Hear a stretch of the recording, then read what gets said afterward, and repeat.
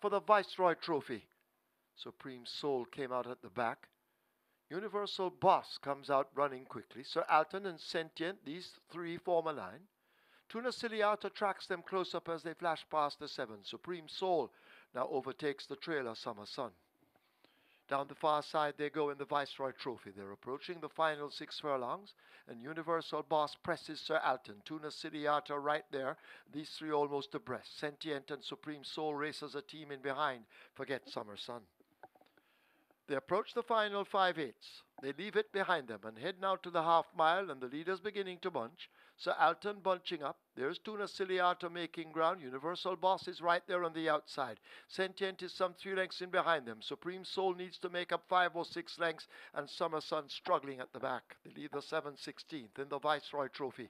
They're about to arrive at the final three eighths of a mile, and Universal Boss continues to trouble Sir Alton, who now has the lead from Toona Ciliata. Sentient is back in fourth. Supreme Soul is under an urge as they go flashing past the 516th, and Summer Sun has made progress but they're into the lane, and Sir Alton, the American, grabs the lead. Watch Toona Ciliata down against the rail, getting the right hand stick in rapid fire motion, and these two are the battlers as they arrive at the furlong pole, and Toona Ciliata now takes charge over Sir Alton. Toona Ciliata opening up two or more inside the final 16th. It's Toona Ciliata and Dane Nelson. Dane Nelson and Anthony Nunes will have a double as they win the Viceroy Trophy with Toona Ciliata by five. Sir is next over Summer Sun then Sentient and Supreme Soul.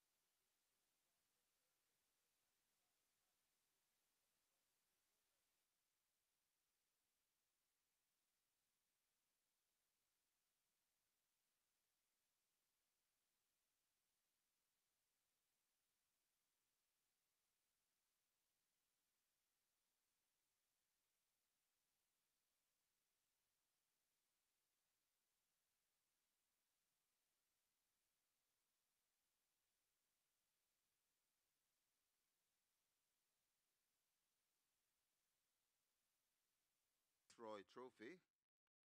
The Viceroy also here for on three occasions 1989, 1990, and 1992. The Viceroy is also an inductee in the Hall of Fame of Thurber.